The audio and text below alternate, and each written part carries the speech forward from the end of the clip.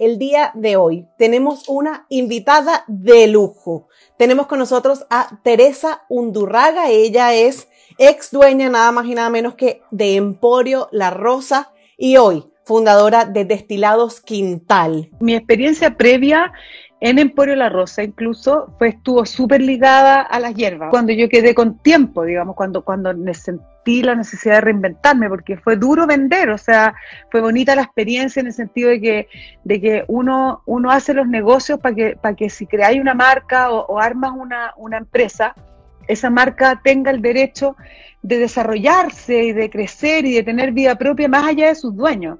O sea, como que en un minuto tenéis que dejar de decir que eres la dueña del emporio. Y, y ese y esa ese trasladar ese esa o sea volver a instalarme en, en, que soy una persona y no soy un acto no soy un cargo un trabajo personal súper importante y ahí llegó la botánica. A nosotros nos han pasado varias cosas, igual que a todos los chilenos. La verdad que el coronavirus no es lo primero que nos pasó, eh, este proyecto partió eh, legal y con, y con casa, con dirección, eh, en enero del 2019 y nosotros estuvimos acondicionando la fábrica y, reconstruyéndola porque este proyecto está alojado en un proyecto macro más grande que también desarrollamos nosotros que se llama Franklin Co-Factory Artes y Oficio, que es un edificio que recuperamos, un edificio histórico que recuperamos de la ex fábrica de Sanitas para que albergara 20 talleres de elaboración de productos artesanales de alta gama.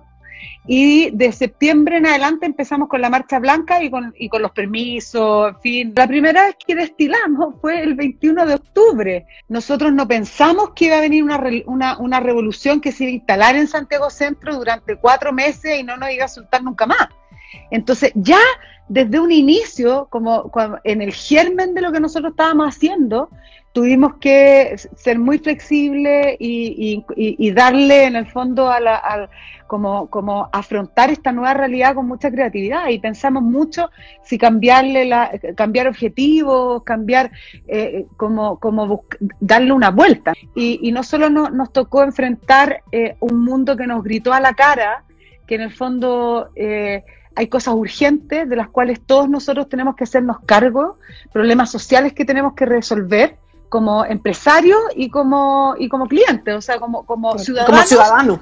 Como ciudadanos tenemos que enfrentar un problema social que está pendiente y que, y que la pandemia no puede invisibilizar y que tenemos que, apenas podamos agarrar fuerza de nuevo, volver a hacernos eh, cargo, porque si no vamos a caminar a una explosión social que no va a tener ningún sentido. Hay un mundo que está fuera del alcance del empresariado, del comercio formal, de las municipalidades. Somos personas que estamos habitando un territorio en problemas y tenemos que apoyarnos. Entonces, ahí es donde yo digo, chuta, ¿qué le voy a decir a esa gente? Oye, quédate en tu casa. Si esa gente se queda en su casa, no come.